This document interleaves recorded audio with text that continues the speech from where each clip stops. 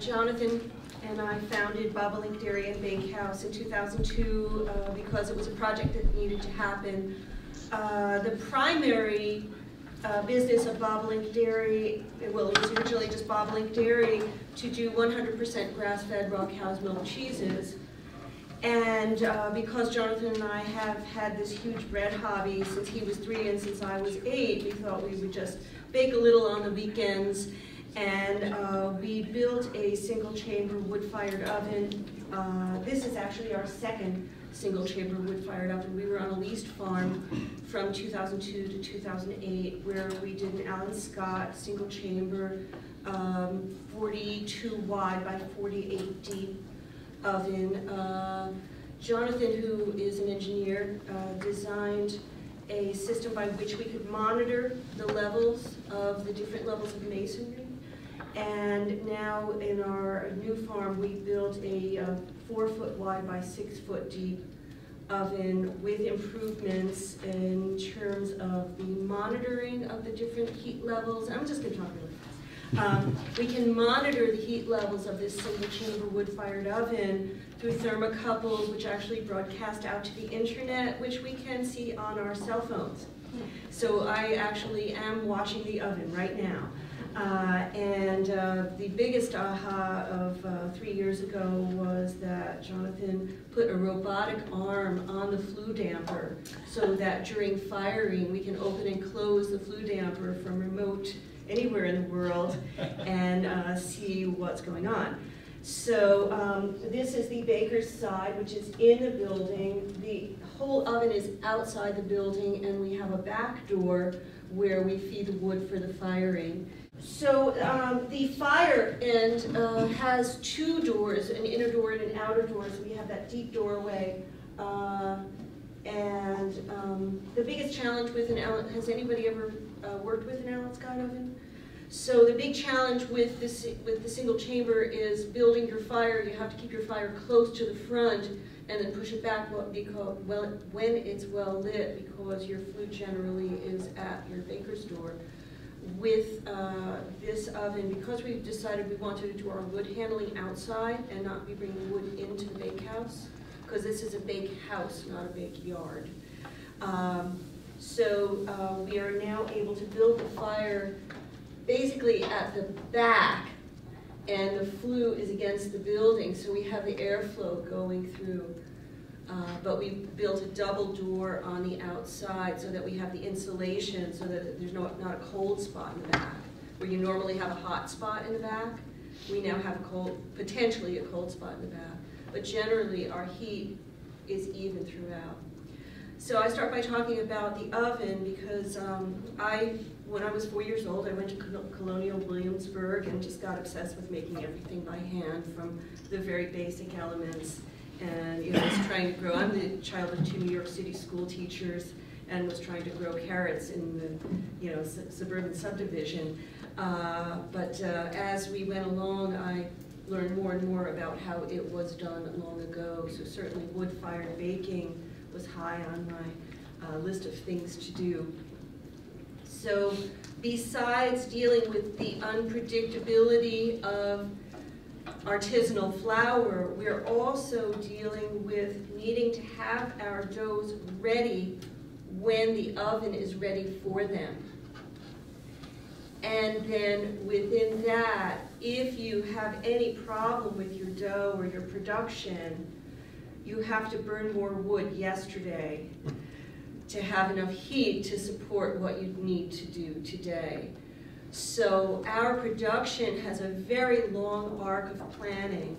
Uh, we have three doughs that have 24-hour ferments, and two of those doughs have a 24-hour oat pre-soak. So I can't have a customer call me and ask for an extra dozen of those today because I need to plan ahead, three days ahead for those breads. Um, but what we get is pretty gnarly looking bread. Uh, so this is our, midi we call it the medieval levain because we suppose that this is what Robin Hood and his merry men would have eaten Uh, and that is whole soaked oat groat with um, farmer ground whole rye and uh, farmer ground whole wheat and about 10% of uh, Champlain Valley's meadow, which is an all-purpose. So that's running in the 11.5 to 12% protein department, which lets me have this heavy-duty, gnarly bread that still has a lightness to it and a, and a strong enough wall for some gas uh, expansion and those strong bubbles um, that you spoke of.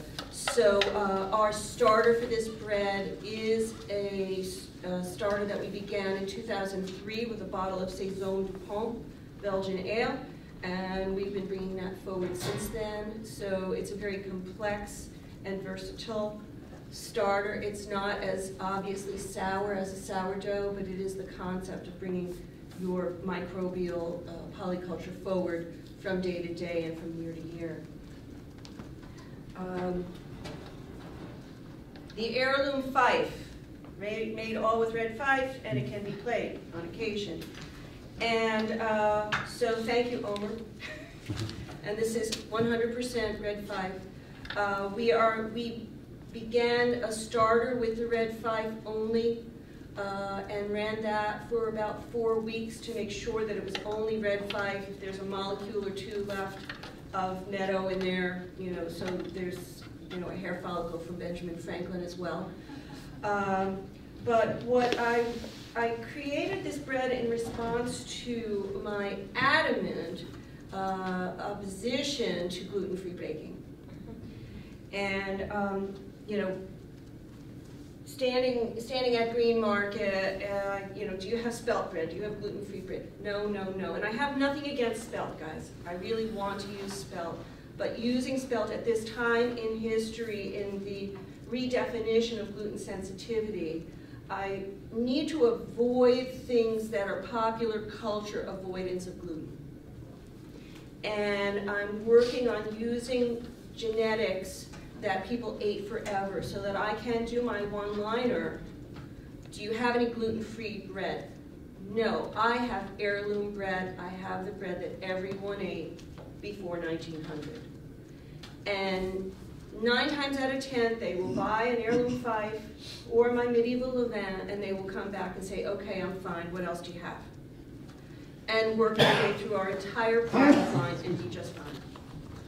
So that's my mission right now. And so I so appreciate being able to get the raw materials that I need for this mission. Now I'm tiny, tiny.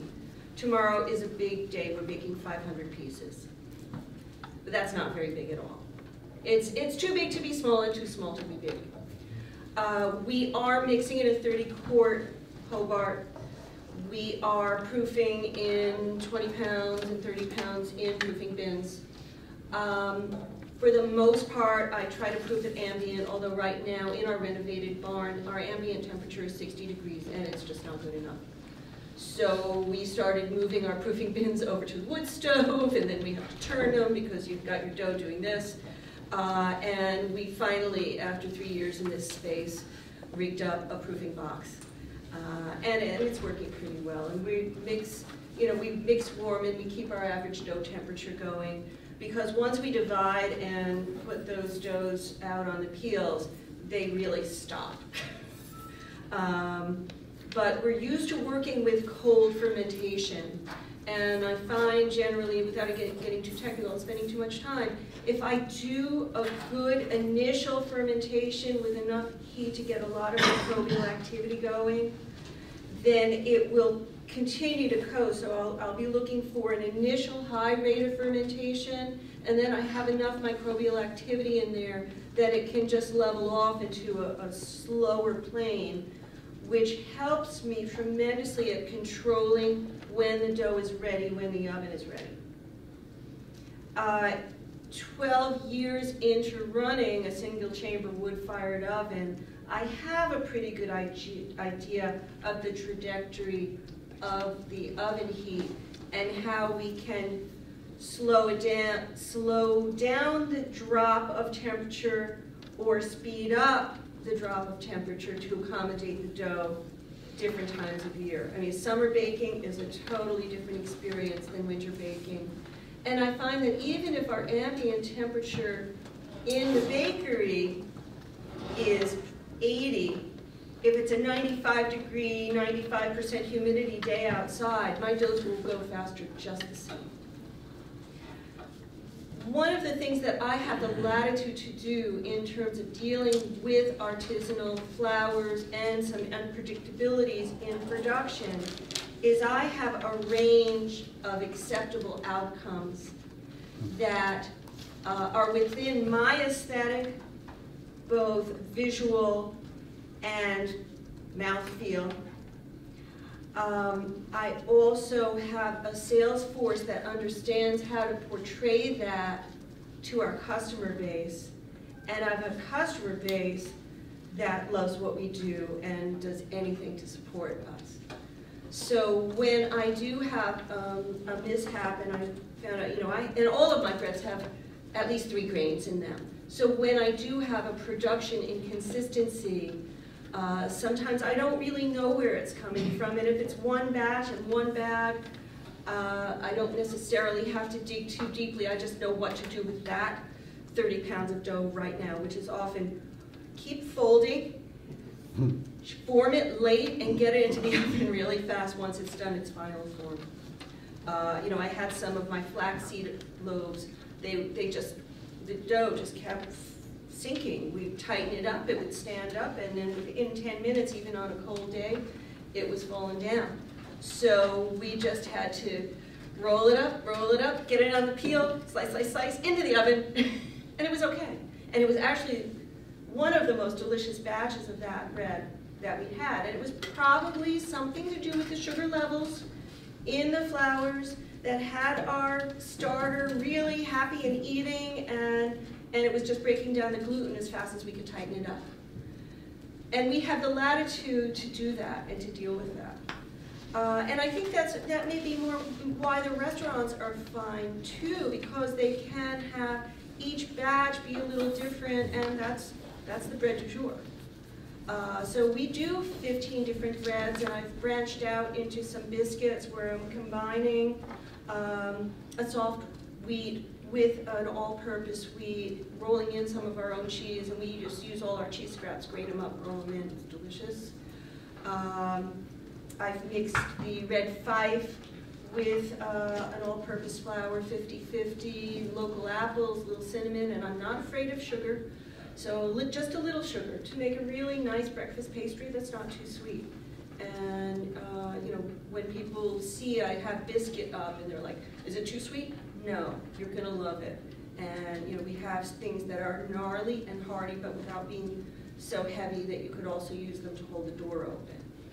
Uh, and, and you know, I started baking my own breads in the, in the 70s in, in an attempt to make a more interesting, lighter, you know, because a lot of us hippy dippies in the 70s, we were eating some stuff you might as well just go out in the backyard and bake. you know, it was pretty rough stuff. And there's still a lot of that on the market, and, and I cherish it. But at the same time, to appeal to a wider market or people who really want to do the right thing for their own health and for their families, if it's not a little more towards the middle of American sensibility, it's not going to fly off the shelves at the same rate.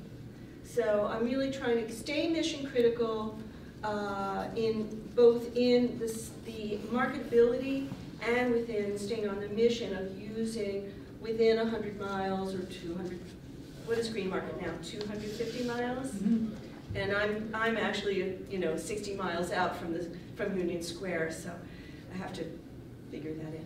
Uh, but, you know, that's, that's where we stand. That's where we stand. Let me just uh, show you a few bread pictures. So these are our apple biscuits, uh, lovingly displayed in our backyard. So that's our cheeses and breads together, and we have, um, so these are the, can I reach? I'll point with a fife. uh, that's the flax armadillo. In the basket on the right with the diagonal coupe, we have um, our medieval baguette. So that's the same basic dough as the large medievals, but in a baguette form. And those, these long, thin breads can be baked right at the beginning of our baking day. Uh, we then get, do I have Epi's in this picture? Yeah, here's a rosemary Epi. So that's unbleached wheat, whole oat, whole corn, and that has the cuts which look so beautiful and have a lot of surface area so it can bake very quickly in a hot oven. We branch out into, um, that's the fife. Uh, this is our rustic wheat loaf, which used to be called mommy bread because it's what I made for our children when they couldn't handle the heavy rye, heavy starter flavor, but it has some starter, uh, and that's got corn and oat in it as well. And that's what we're going to taste in a little bit. Uh, so in any case, we um, have the range of sizes and shapes that we can put through the oven as we need to. Uh, and we have range, so ranges of acceptable outcomes and temperature ranges at which we can bake for ideal uh, doneness and crust. Um, and we just keep juggling. We just keep juggling, and when new stuff comes on, I like to try it, and uh, and just keep on the mission of locally grown, as ancient a genetic as possible, and um, understanding the elements of fermentation, the science of gluten strength, and what to do when you have a, a, harvest that has a weaker gluten. What can I do in my forming and fermentation techniques that's going to have a beautiful bread that's going to be healthful for the land that it was grown on and the people who eat it, not just the middle stage. Um, in terms of cost, uh, it's a tough one because I do have people going, you know, 450 a pound for bread, oh my gosh. Where I just, I'm paying real people real money to hand form these breads because they cannot go through a machine where you just punch in the numbers and send it away. Uh, that's one of the things, you know, I do have a dough divider, but all of our doughs are hand formed because our, our um, dough structure is not going to tolerate a machine. Uh, so we do machine mixing, machine dividing, but a person is there at every step of the way. Uh, so we have to really be very careful about our numbers. We have to I look at the weather, and I look at you know what's going on at Lincoln Center, and whether we're going to have a lot of people through, or whether you know all of all the buildings are dark and there's no nobody to be coming by. I uh, reach out to the Juilliard parents, come shop at the farmer's market while your kid's taking their music lesson. Uh, you know, we, we really have to uh, be very proactive in our marketing because waste in our bakehouse is very expensive. Uh, that said, I do have restaurants who take our leftovers frozen because these freeze very well. And I am serving you previously frozen bread today, folks, because I left home on Tuesday and you didn't want me to just have it sitting out. Uh, although the medievals keep for about five days before you open them, they're great. Um, we also raise pigs. And we have cheese making, we feed the whey from the cheese making to the pigs, and we soak the breads that are left over to our pigs and to our chickens. Um, I am using emmer wheat uh, from Joel Steigman currently. We have a small flock of chickens, and we're making uh, fettuccine pasta with our own eggs and the emmer wheat. And that's another step in for some folks who haven't eaten any wheat product for 10 years, is to offer them an emmer pasta. And I mean, it's ridiculously expensive. It's $4 for four ounces. I cannot afford to sell it for any less than that. Uh, but for folks who want to eat good food, they're willing to pay for it. And I, you know, one week they buy one, and the next week they buy four. Because uh, it's easier than going out to dinner and not being able to order anything on the menu. So. I had a question about your emmer pasta. Are you blending that? What's your percentage of emmer to adding a wheat flour to I am not. I'm using 100% emmer. I have to laminate it about 10 times on the widest setting before I can stretch it. Hmm. But by laminating it a lot initially, it gets enough of, this, of a matrix that then I can stretch it really nicely. And I make it moderately thin, actually, and one of the comments that I get is that it is light, and you know, it's certainly not the usual whole wheat sawdust that whole wheat pasta can be. Um, but no, I'm not blending that at all. My only ingredients are eggs and, and flour. Yeah. And that's whole wheat emmer flour. That's, I'm using the whole wheat emmer flour, yep. As well as this is the whole wheat at Red Fife. Right. Uh, You know, I did, the- I did the sifted, but it wasn't different enough to be worth using both, so I'm just using the hundred percent whole wheat.